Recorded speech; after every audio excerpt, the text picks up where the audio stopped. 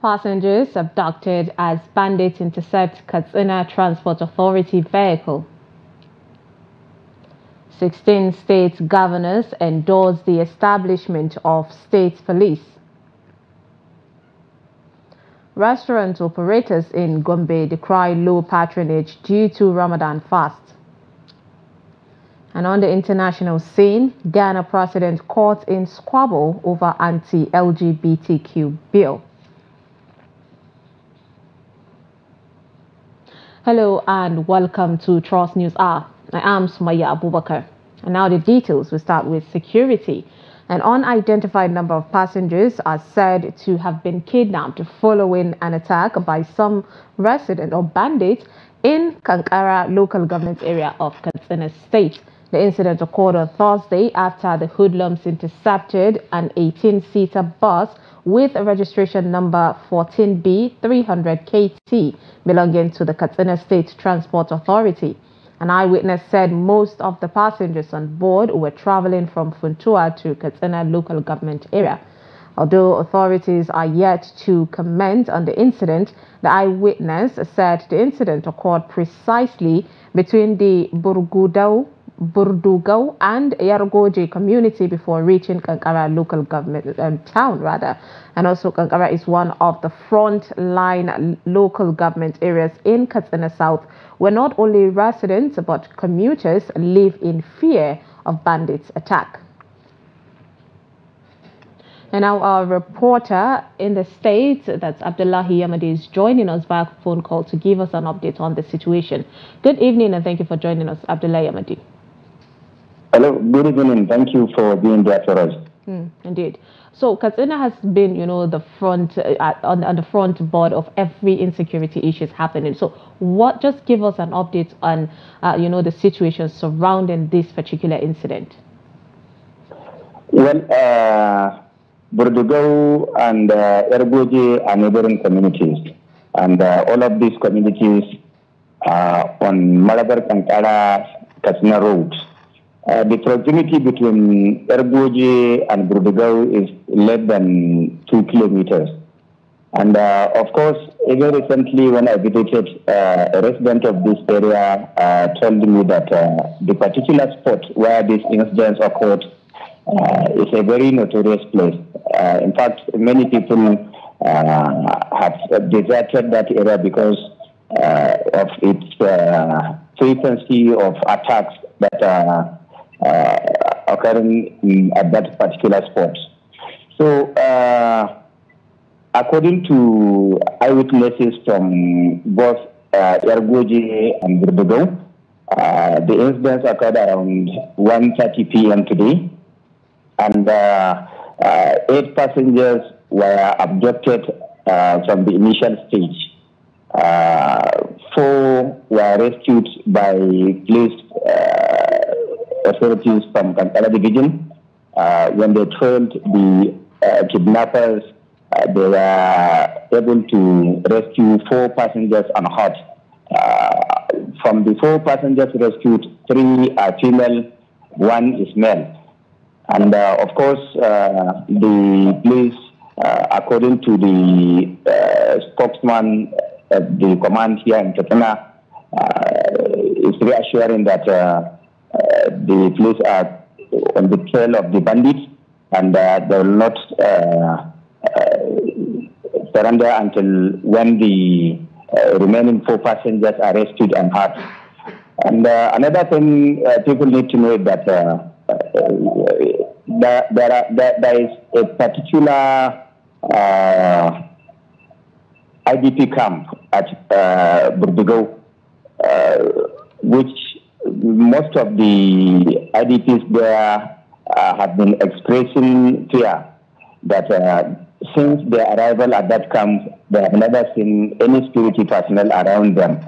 And uh, knowing full that uh, that particular area is uh, an infested uh, area by bandits, like I said, even recently when I visited, most of the residents are expressing fear that at any given time, uh, bandits can strike that particular spot. You know, speaking and, uh, about, speaking about the fear of the people, um, uh, Abdullahi, you know, you made mention that these people are, are really scared about uh, what is going to happen. What are they saying about the growing number of attacks across Katsina, even with, you know, the security watch corps that was, um, you know, built up, organized by the government? What are the people saying? Well, uh, people are seriously disturbed about the escalating insecurity in Kaduna State. And uh, what they are saying is uh, uh what is responsible for, uh, responsible for all of these uh, attacks is largely due to lack of proactiveness from the side of the security operatives. most of the times, uh, they are being more reactive than being proactive. Uh, they will only uh, show seriousness when there is an attack, and uh, when there is none, uh, people will be exposed to a lot of problems and, of course, a lot of fear mm. because the bandits are always around, and of course, they can attack anytime and uh, any moment they can strike. Indeed. Uh, that is the uh, fear people are expressing here in Katsina. Yeah. And uh, another thing you need to know is that uh, this particular sport, uh, like I said, is a notorious sport because uh, a resident was telling me that hardly a week passes without seeing some bandits passing through that area with some uh, animals. The securities are aware, and of course, most of the residents of those areas, those communities are aware of what is happening there. That is so really it is sad very serious issue you know, knowing that that is happening and then nothing can really be done about it. So the governor, um, Umar Radda, recently came out to say there is no room for negotiation, you know, between the bandits and uh, the government and also paying off ransom. But then there is an incessant, you know, kidnapping happening. So what is the take of the government now and how are the people, you know, accepting uh, this declaration by the state government? Well, uh Really, uh, the government has taken position saying that uh, they have zero tolerance to uh, negotiations with the bandits and, of course, uh, payment of ransom. Uh, you can testify to that. Even that, uh, even recently, when victims of uh, Gamji community in Sabo local government were abducted at a wedding ceremony, the governor apparently said uh, they have zero tolerance to uh, these negotiations and, of course, payment of ransom. Even the residents uh, requested the state government to at least assist them in the payment of ransom. And we have seen how they contributed their monies to pay 12 million naira uh, to secure the release of their 10 uh, members of their families. So people are saying that uh, even if the government is not ready to negotiate with these bandits, at least we should see other security operatives uh, taking bold steps in, uh, in securing least, the people, indeed, uh, Abdullah. Securing the state. It's really yes, a sad of course, situation, of course. Mm. But then, yeah. of course, um, so, would, so, would subsequently, you know, call you just to give more, you know, light on the situation as, as it unravels. Thank you so much, Abdullahi, for joining us and giving us the update. Uh, thank you for being there for us. Thank you for having us. Of course. Thank Meanwhile, displaced residents of Burdugau, Ergoje and neighboring communities of Kankara local government area of Katsina state who are displaced by ravaging bandits are calling for help to enable them go back to their villages. Thousands of the displaced residents are now taking refuge in Burdugau Senior Secondary School, while hundreds of others, including women and children, are squatting with their relatives in towns perceived to be safe. Abdullahi Ahmadi visited the area and bring back this report. Take a look. These women and children convey the tales of horror, saying living here without any security presence is horrific. They also said their loved ones have been killed, their houses burnt to ashes, and they arrived here with little or nothing to take care of themselves and only depending on support from friends and sympathizers to survive. These IDPs who said they are lucky to have counted themselves among the survivors are frequently making references with their loved ones in the hands of bandits. We did not carry anything to the place because we woke up in the night and saw ourselves running to unknown destinations.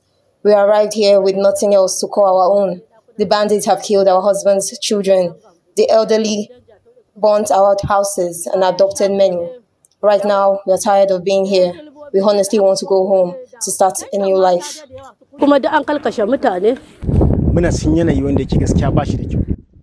As you know, this is a fasting period. At least we're supposed to be at home by now. As such, we're appealing to the government to give us security. The suffering here is too much. We don't have comfort here, no food. We don't have anything. These people have so far spent over four weeks in these dirty classrooms, careless about hygiene. Elsewhere at Ergoji, the weekly local market is witnessing partial or low patronage, largely due to the escalating insecurity in the area. Our people are being killed daily. We don't have any peace of mind to concentrate on our farms or trades to make our lives better. I think for close to two years, I did not work on my farm now for fear of attack or abduction. That was why we protested recently, and it has not yielded any positive results.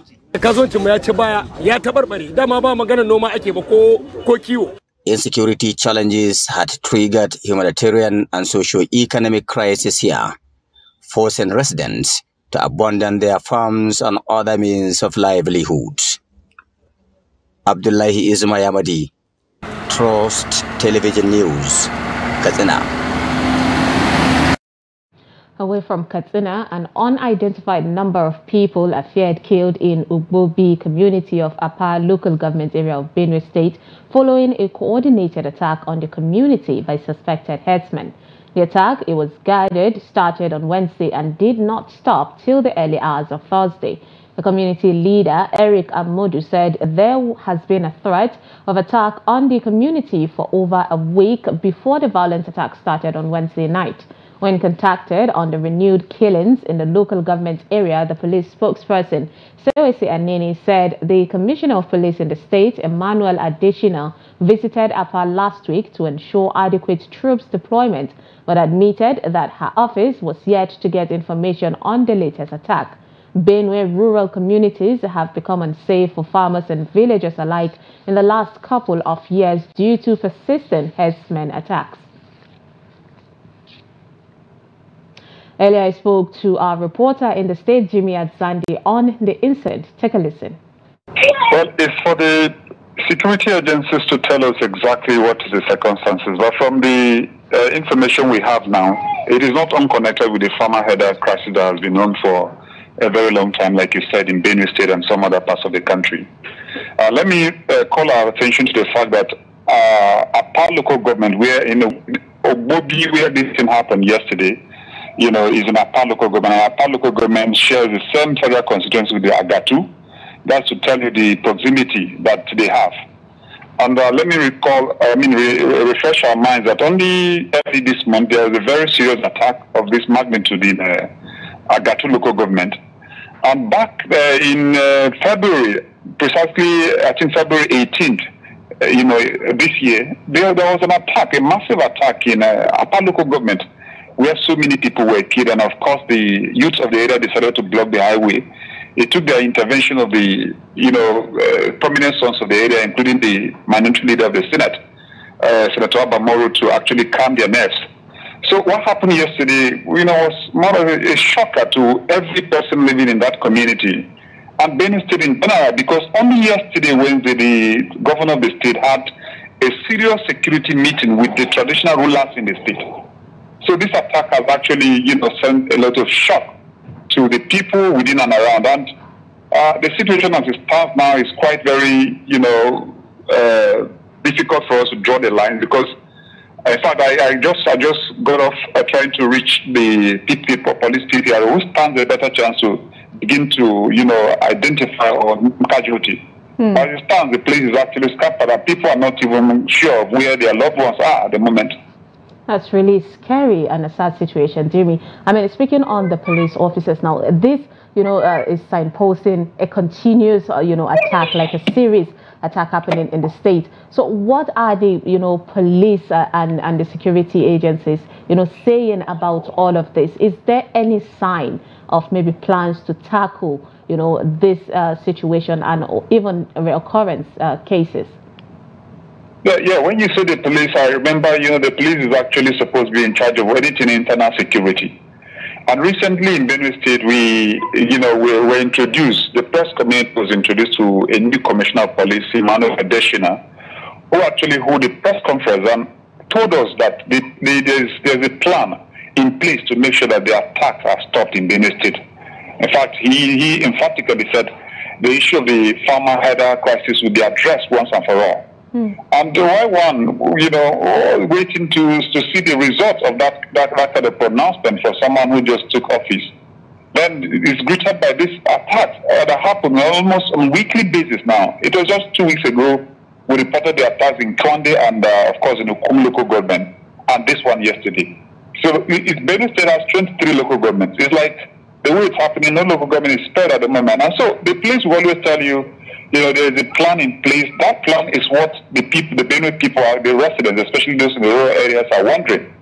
Remember that, you know, uh, this is the time that people are preparing their farms. You know, mm. are preparing to go to the farms as soon as the, the, rain, the rainy season sets in, and that situation is not so because a lot of us, you know, we can't look like a, there was even a call for you know for communities to begin to think within their own respective domains, you know, for in, their own internal security. You, you know, speaking, speaking on that, uh, Jimmy, I wanted to get there because there's been a lot of push, you know, for uh, policing from communities themselves. So what are, you know, the people from these communities uh, that have been suffering this uh, consecutive continuous attack? What has been their plan? Is there any, you know, uh, push or direction or suggestion towards making sure they're able to at least, you know, protect themselves?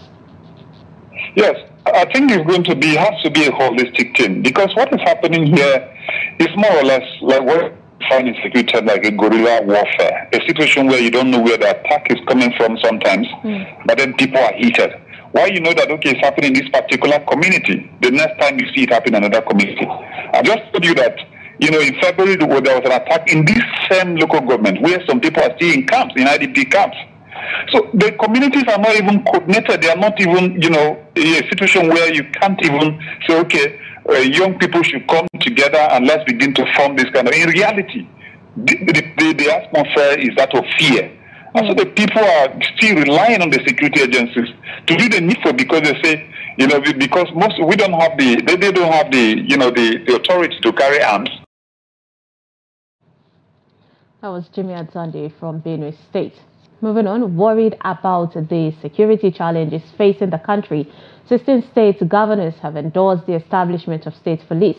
The National Economic Council, the NEC, disclosed this on Thursday in a report submitted to the Council at its 140th meeting held virtually and chaired by Vice President Kashim Shettima. The Minister of Budget and Economic Planning, Atiku Bagudu, who briefed State House correspondents virtually after the meeting, said out of the 36 states, about 20 state governors and FCT were yet to make their submissions. However, he did not mention the state. The governors who submitted their memos also called for the review of the Nigerian constitution.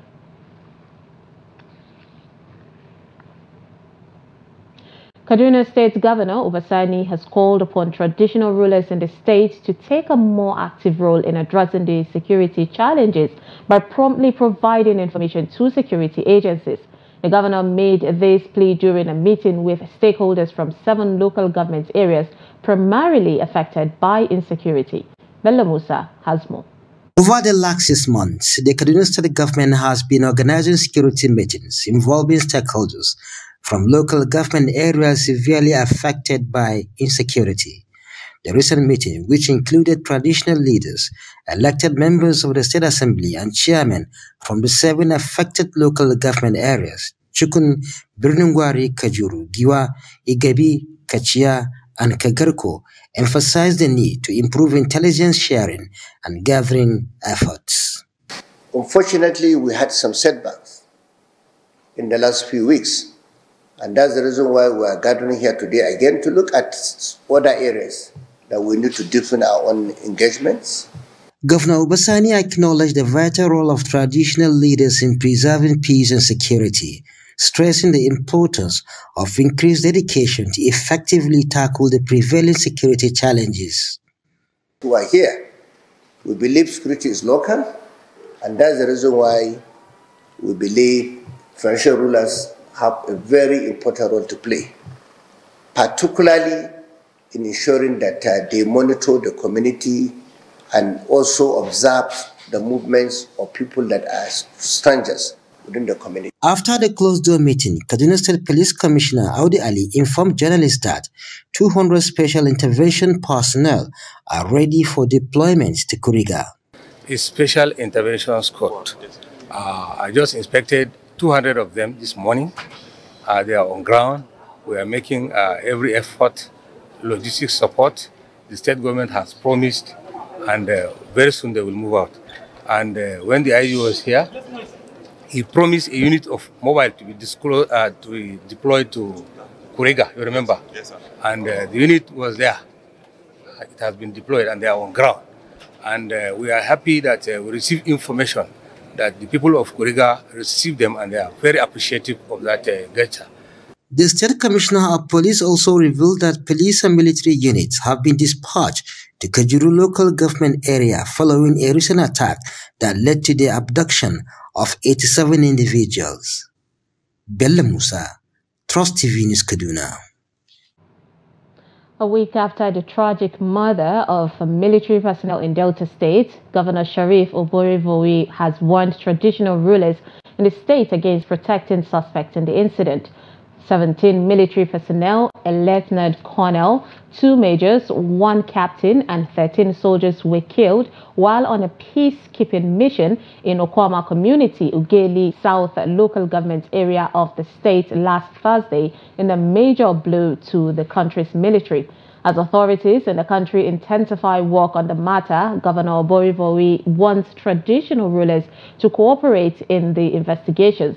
While addressing traditional rulers on the unfortunate incident at the State Traditional Rulers Council Secretariat in Asaba, Governor Oborevwori said Delta was governed within the tenets of the rule of law and human decency, stressing that no kingdom should shield the perpetrators of this dastardly act. The governor said President Tinubu and the military authorities have assured him that innocent citizens in the state would not be victimized. Meanwhile, the Delta State House of Assembly is appealing to the Nigerian Army not to retaliate over the killings of its officers in Okuama community. This follows a motion moved on the floor of the House by one of the members representing Okoloba. Jonathan Awaya reports.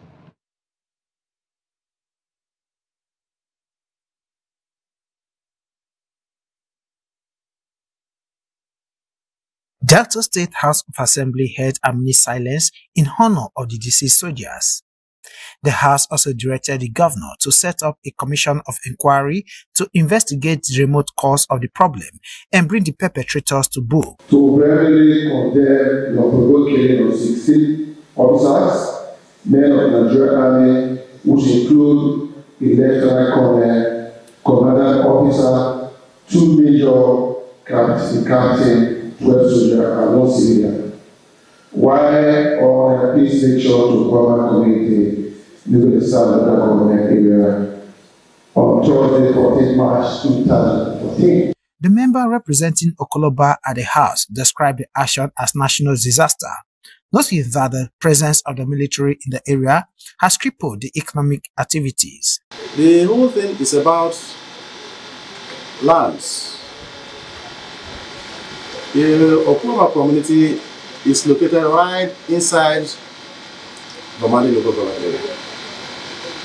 In one flank you have Akubene community. In the other flank, you have Okoloma community, both in Bamadi local government area. And Okwama community, which is in Ogeli South, is in between these two communities in Bamadi local government area. So it's all about land. I'm told some people are accusing the state government for not doing enough, but that is not true. We need efforts to ensure that there is peace. Office of the Special Advisor on Peace Building and Conflict Resolution, uh, Chief Uzo, Robin, Robin Uzo, invited these communities and representatives of all other security agencies there. There was a communique and a peace undertaking was signed by both uh, community leaders. They appeal to the government at all levels to resolve the issue and bring back peace to both communities. Jonathan Awanya, Trust TV News, Asaba. Youths of Yenizwe AP of Okaka community of Yenagoa local government area of Bayelsa State on Thursday staged a peaceful protest in the Yenagoa metropolis demanding justice for Moses Akanda, who was allegedly shot dead by operatives of the National Drug Law Enforcement Agency, the NDLEA. The protest, which commenced from Yenizwe APA community, saw the protesters march to the government house, Yenagoa, carrying placards with different inscriptions like enough of the killing of APA at Tisa youths by security agencies in Bayelsa State. Trust TV Friday, Bimobo Peter completes the report. The Ogwan Youth President Inatimi Timothy and the Yenisuepi Community Youth President Samuel Okoko Martin said the protest was to demand justice for a youth of Yenisuepi community, Moses Akanda, who was allegedly murdered by operative of the National Drug Law Enforcement Agency, NDLEA, on Wednesday. NDLEA, they came to one of my communities, Yenisuepi community, precisely that there's a drug baron that they have arrested the person and they started shooting sporadically to the air and shooting better. How would they be shooting to the air and they now shot somebody? But unfortunately for this innocent Moses Akanda, he's a very peaceful young boy that they have bullet went and killed. It's a direct shot on the shot on the chest. We want the government to ask the commander to produce the person within three days. As as the Ogwa president, I'm going to mobilize all the youth of APA Atesa and we are going to occupy the street of APA Atesa. They shot one of our innocent youth death and so we are here today demanding justice. Whoever is involved in that heinous crime should be brought to book because the security agencies they are supposed to be the one to protect us. But as it stands they are the one killing us on a daily basis. So we are here demanding justice for the killing of one mr moses akanda. Addressing the protesters the Bayelsa State Commissioner of Police, CP Frank Idu, sympathized with the community over the loss of their member and assured the protesters of justice. I'm sorry for your loss. Deeply, really. It's avoidable. So, can you guarantee that you wait tomorrow three persons will be uh, uh, brought in? You can uh, choose any young young boy like this boy can be the fourth person. Then the woman that will not make too much of noise. So that we can transform this conflict and come to corridors of compromise.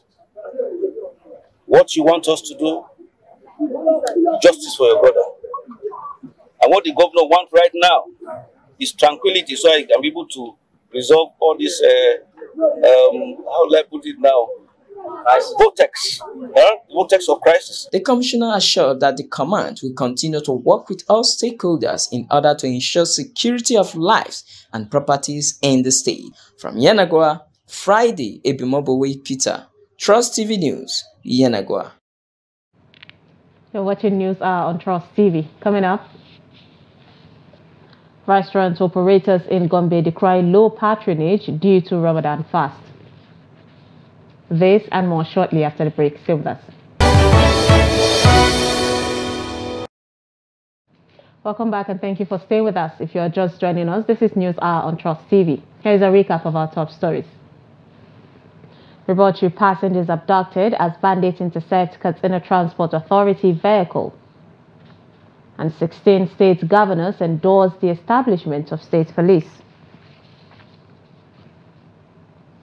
Moving on to more stories, and our Deputy Speaker of the House of Representatives, Benjamin Kalu, says the problem of Nigeria is not only in the hands of politicians, but civil servants as well as technocrats, whom he said continue heavily to the problems. Now, Kalu stated this on Thursday during a courtesy call by the platform Public Service Bootcamp attendees at the National Assembly, Abuja. The lawmaker said there was need to bring digitization into the public service space where an auditing app can encourage accountability and productivity. Kalu, who acknowledged the youth as the energy of a nation, observed that many young people do not understand the concept of public service, which has always been misinterpreted as a mere means of livelihood. Now, the problem of Nigeria is not just only in the hands of politicians. The civil servants, the technocrats, contribute heavily to the problem of Nigeria when ordinarily they're supposed to be solution providers. Sometimes they ridicule the politicians by hiding the fundamentals that will help the politicians achieve their mandate and the program they have set out for the nation. They frustrate the politicians. It ought not to be so. The House of Representatives has approved an extension period for the capital component of the 2024 appropriation in line with President Tinubu's request. The lower chamber also restated its commitment to ensuring correctional centers across the country meet the basic international standard. They were part of uh, the resolutions of the House before it adjourned for the Easter and Salah breaks. The report. President Bola Tinubu has written to the House of Representatives seeking approval and extension of the period for the implementation of the capital component of the 2023 appropriation bill from March 31, 2024 to June 30, 2024. The House Speaker, Tajudeen Abbas, who read the President's letter at the commencement of the day's plenary, said the President also asked the House to extend the implementation of the Supplementary Appropriation Act from March 31, 2024 to June 30, 2024. He said the extension became necessary to ensure that the provisions of the two acts were fully implemented. The Nigerian Army has blamed congestion, absence of CCTV cameras, and other essential facilities as largely responsible for the Kuje jailbreak of July 5, 2022. The Army stated these at a probe instituted by the House of Representatives Joint Committees on Reformatory Institutions, Justice, Police Affairs, Interior, and Human Rights in Abuja on Wednesday. The committee is investigating the whereabouts of inmates who escaped from Kuje Correction Center and the issues of congestion experienced in mostly all the correctional services across the country. The Assistant Director, Commercial Law, Directorate of Legal Service of the Nigerian Army, Major Peter Egbunya, who made the assertion, said the Army is still investigating officers who were on duty during the day of the incident. He, however, said the incident took place during rotation of troops, adding that the Nigerian army was not the only force on ground on that fateful day. We also observed issues of uh, low fencing and the CCTV camera absence within the general area.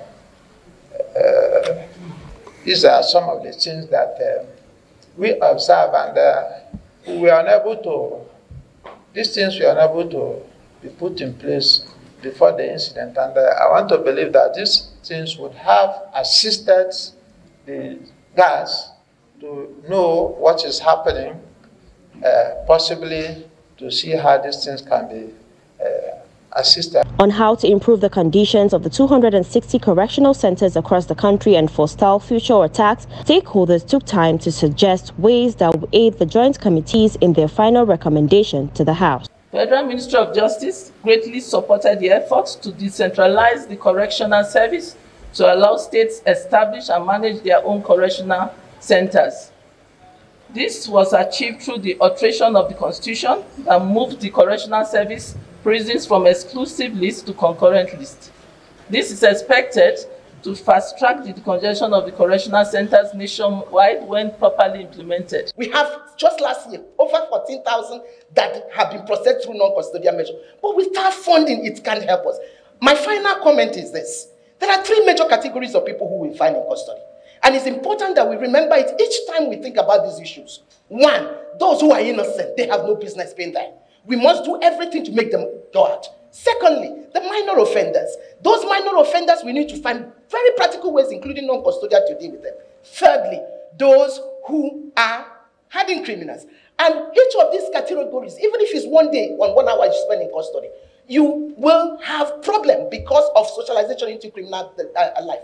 And we know it is not only correctional service that have detention facilities. The chairman of the Joint Committee, Chinedu Ogah, who emphasized the importance of correctional services to Nigeria's security, stated that the committee will do everything to ensure that it meets global best standards. There is no any sign to show that the military men are on duty from our own constitutional mandate on our oversight when we get to that place. Because we saw where the military people stationed their vehicle where the police station, their vehicle, and civil defense. And there is no any act of a sending of bullets or anything.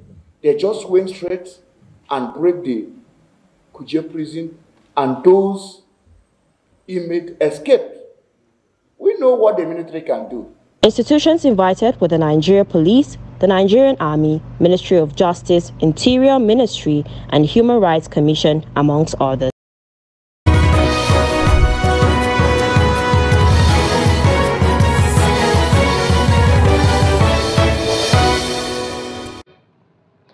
Breaking news of unspecified number of people have been reportedly killed on Thursday when bandits in their numbers invaded a market in Madaka community, Rafi local government area of Niger State. According to residents, the attackers invaded the market around 3 p.m. when the market was at its peak, shooting sporadically at people. One of the residents who spoke in confidence said the number of casualties had not been ascertained until situation calms. They said the attack came two days after bandits also attacked Pangu Gari, killing the district head and four other people. The Niger State Commissioner of Homeland Security, Brigadier General Bello Abdullahi Muhammad, retired, confirmed the attack. The chairman of the Independent National Electoral Commission has urged media organizations to combat fake news targeted against the commission as the off-cycle elections in Edo and Ondo State draw closer. Noel Sampson has more.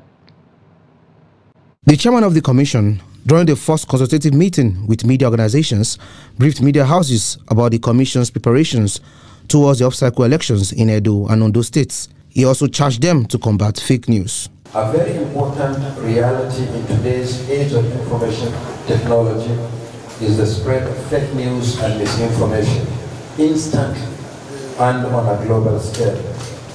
I urge you to be a bulwark against fake and misleading uh, fake news and misleading narratives about the Commission and its activities.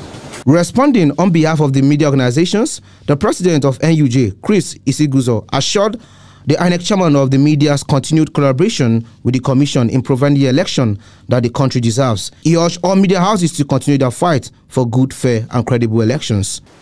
Having become more like a family in this gathering, we must carry forward the spirit of collaboration and dedication to democratic principles, we must continue to work hand in hand, united in our pursuits of a more just, inclusive, and democratic society. This is the second off-cycle elections since the February and March 2023 general elections. Polls will open in Edo and Odo State on the 21st September and November 16th later this year. No, Samson, Trust TV News, Abuja. The federal government says it will collaborate with the Jigawa state government to spearhead the inclusion of Almajiri's pupils in the homegrown school feeding program. The collaboration is also targeted at reducing the menace of out-of-school children roaming the streets in the state and the region as a whole. The senior special assistant to the president of Homegrown School Feeding Program, Yetunde Adeniji, disclosed this during a meeting at the government house in Dutse. The report. Adeniji emphasized the importance of collaboration with the Jigawa state government to enhance the program's effectiveness and ensure that every Nigerian child, including Almajiris, have access to proper nutrition and education. She also mentioned ongoing dialogue with national and international organizations to help improve and sustain the homegrown feeding program for the betterment of Nigeria's future leaders. We are here as regards the school feeding program. And you are well aware, sir, that uh, there have been some changes that have been going on through the system in the federal uh, these uh, resolves have just been to ensure transparency, accountability, and the smoothness of the program. Mr. President is passionate about the homegrown, um, homegrown school feeding program, and he's passionate about Nigerian children. He wants each and every Nigerian child to be, you know, given a meal, a nutritious meal a day, at least one nutritious meal a day. Governor Umar Namadi expressed gratitude for the support and the recommencement of the program after scrutiny, highlighting its significance in addressing the challenge of out-of-school children, which poses a potential security threat in northern Nigeria. The school feeding program is very dear to us in Jigawa State. It's a very good initiative, and uh, I want to thank Mr. President, one, for accepting to continue the program. Two, two, for his own initiative to look at the program, scrutinize it, and make it beneficial to the people. This is a very, very important issue because every policy you have seen of government, there is need to check it, scrutinize it, and ensure that people derive the benefit for that policy. So I think what Mr. President is doing by suspending the program and then looking at it, and I think it's a very good uh, intention, and I think it's something that is welcome. The governor reiterated Jigawa state government's commitment to supporting the program and tackling the issue of out-of-school children to ensure a brighter future for all. During the holy month of Ramadan, restaurant operations usually experience a lull in business due to the Muslim fast. While most of the restaurants close for the whole month, others have adopted, adopted about some strategies to curb the slowdown. However, some businesses like ice blocks are taking advantage of the season to make brisk business as patronage surge. Hassan Koli reports. Majority of restaurants in Gombe are usually closed during the holy month of Ramadan as patronage drastically reduces due to the fast. While some are closed, others are still run skeletal services during the period. Cynthia Alex is one of the restaurant operators that is still in service. She shares her experience during the Ramadan period. Patronage is very low now because of the fasting. It is hard for us to get half of what we used to get on a daily basis before the fast. So we reduce the quantity of food cooked. As a matter of fact, we only open four days in a week. While food businesses are slowing down, the ice block vendors are taking advantage of the holy month to make bricks profit. As temperatures rise, so does the demand for the ice blocks, especially during this month when Muslims rely on them to keep their food and drinks cheap. We are selling ice blocks for between 15 naira to 150 naira each and patronage has really been encouraging. We usually take advantage of this season every year to sell ice blocks and it has been worth the while. Whenever it is Ramadan period, we used to get this ice block because you know the weather is very hot. So initially when we, when we have our iftar, we normally need this kind of ice block so that we can cool our mind have a very good iftar and, and also an enjoyable one. Health expert, on the other hand, say it is essential to balance the consumption of ice blocks with other nutritious food and beverages when breaking the fast during Ramadan to minimize potential negative impact on health. Hassan Koli, Trust TV News, Gombe. In business, foreign airlines operating in the country have faulted the announcement by the Central Bank of Nigeria, the CBN, that it has settled all outstanding backlog of the valid foreign exchange claims. The CBN had on Wednesday said it has cleared the balance of $7 million pending valid forex backlog. Also in January this year, the Apex Bank disclosed that it had concluded the payment of all verified claims by foreign airlines with the payment of an additional $64.44 million to concerned airlines. However, the president of the Association of Foreign Airlines and representative in Nigeria, AFAN, Kingsley Nwokoma, on Thursday, stated that about $700 million belonging to foreign airlines was still trapped in the country. He challenged the CBN to show evidence of payment if it truly cleared the backlog of FX belonging to the foreign airlines. Let's join Yusuf Akogu for more business updates.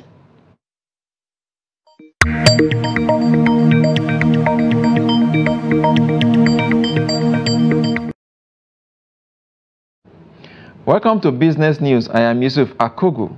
The National Bureau of Statistics, NBS, says the average retail price of a litre of petrol increased from 263 naira in February 2023 to 679 naira in February 2024. The Bureau said this in its petrol price watch for February 2024 released in Abuja on Wednesday. According to NBS, the February 2024 price of 679 represents 157.5% increase over the price of 263 naira recorded in February 2023. The report's analysis by zones show that the Northwest Zone recorded the highest average retail price in January 2024 at 701 naira, while the Southwest recorded the lowest price of 657 naira per litre. Nigeria is set to begin the formal exportation of locally produced commodities to South Africa, Rwanda, Cameroon, and Kenya from April on the platform of the Guided Trade Initiative of the African Continental Free Trade Area. Announcement from the National Center of AFCFTA say although some businesses in Nigeria currently export products to these countries, such exports are informal. Executive Secretary National Action Committee on AFCFTA Olusegun Awolowo say although trading under AFCFTA is yet to start, the Secretariat of the program has introduced the GTI. AFCFTA is a free trade agreement established among 54 of the 55 African Union nations. The Swiss National Bank has cut its interest rates, becoming the first to do so among the major central banks. The SNB eased its monetary policy and cut its rate by 0.25 percentage points to 1.5% effective from Friday. This is the first interest rate cut since it began to hike them in June 2022. According to the bank, the move is aimed at battling the upsurge in inflation rate. Meanwhile, the Bank of England is expected to keep its main interest rate at a 16-year high of 5.25% on Thursday, rejecting a cut as inflation remained well above target despite recent slowing. Now to the stock market. NGX recovered from three days of negative trading to close in green following renewed interest in equities by foreign investors who are gradually returning back to the trading floor. Let's see how it went down today. Julie leading the gainer stable there to gain 10% to close at 7 naira and 15 kobo per share, followed by Transcorp Nigerian PLC 9.96% to close at 14 naira and 90 kobo per share. Of course, International Energy Insurance gaining 9.66% to close at 1 naira and 59 kobo. And of course, it indeed has moved the market up by 0.13%, 3 to uh, 8.192 million volume of shares did exchange hands today among investors, value at 8 0.94 billion naira in a days of 8,688 did uh, happen today, of course, on the floor. Look at some of the equities leading the activities table. We have a UBA United Bank for Africa doing 61 uh, 0.313 million shares. Access Corporation, 31.500 million shares. And of course, Zenith Bank also doing 21.324 million shares. Of course, almost a banking sector affair today, you will say on the floor. Of course, there are some equities that didn't uh, gain today. Most of them ended on the losing side of the market. Leading that table is livestock feeds uh, down 10%. closed at 1 naira and 62 kobo per share. Deep cap down 10% as well. The closed at 63 kobo per share. Tourist uh, down 9.86%, to naira 56 kobo per shares. It ended today. These are the highlights of the stock trading as it went down this Thursday on the floor of the Nigerian stock market. Let's see global stock market for today.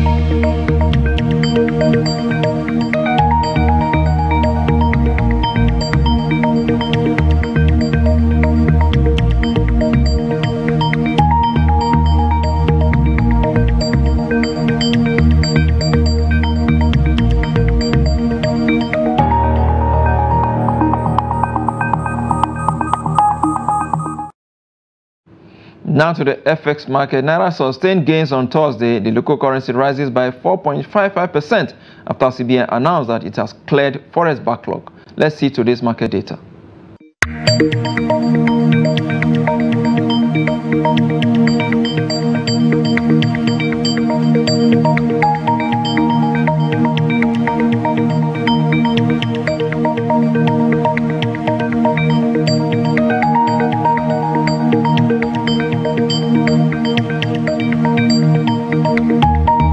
Prices broadly steady on Thursday, short up by a surprise U.S. crude stock drop and the U.S. Federal Reserve sticking to its outlook on rate cut for the year. And the London market, European Brent sells for $85 per barrel. For the oil basket, price steadies at $86 for a barrel. And that's business. I am Yusuf Akogu.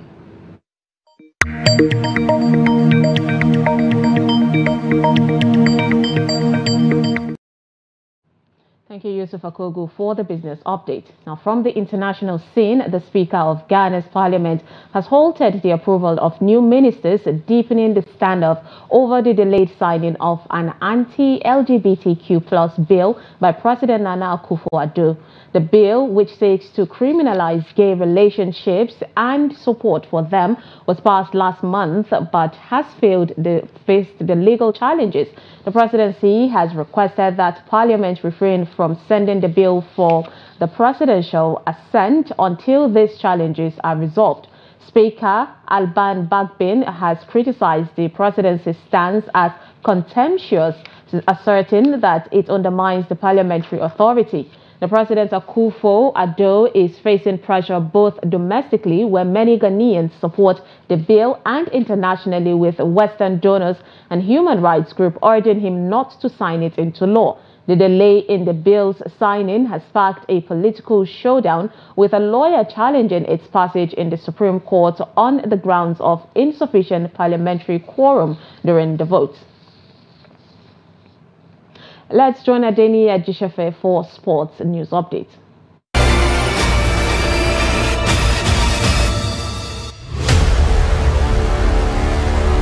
President of the Athletics Federation of Nigeria, Tonobok Okowa, is confident Team Nigeria will surpass its target at the 13th African Games in Accra, Ghana.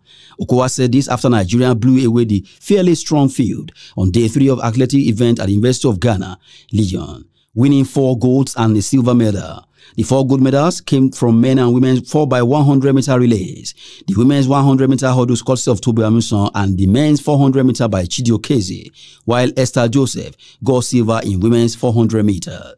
Okowa said it is imperative that the Federation works hand in hand with the federal government in order to get the best out of the talented, committed, and determined athletes. After three days of action on the track, Team Nigeria have won seven gold, two silver, and two bronze medals. The Athletic Federation of Nigeria is working towards the African Championship and the Olympic Games in Paris. The winners of Nigeria vs South Africa tie will face a stiff test on the women's football event of Paris 2024 Olympic Games. The draw ceremony held at the Pause Building in the French capital of Paris revealed that nine-time African champions could face either world champion Spain, Japan, Olympic runners-up in 2012, and Brazil, silver medalists in 2004 and 2008. Nigerian women must first win a tricky doubleheader with current African champion South Africa for them to seal a place in Group C ahead of football event of Paris 2024 Olympics. The other two African teams, Morocco and Zambia, could face USA Germany or Australia in Group B. Nigeria's first leg clash with South Africa will take place on April 4th at Moshood Abiola National Stadium, Abuja, while the second leg, built for Loftus Versfeld Stadium in Pretoria, will play on the 9th of April 2024. That's Sport News. I'm Adeni Ajishafe. And with that, we have come to the end of Trust News Hour. Do not forget to follow us across all our social media platforms and join our YouTube for news programs and documentaries. I am Sumaya Abubakar. Thanks for watching.